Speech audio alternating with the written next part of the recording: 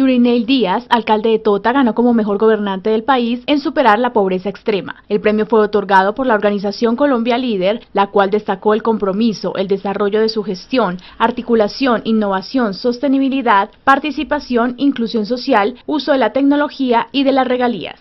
Por su parte, el mandatario de esta localidad manifestó su gratitud con la organización y con la comunidad, comprometiéndose a trabajar arduamente en pro del progreso de esta región del país.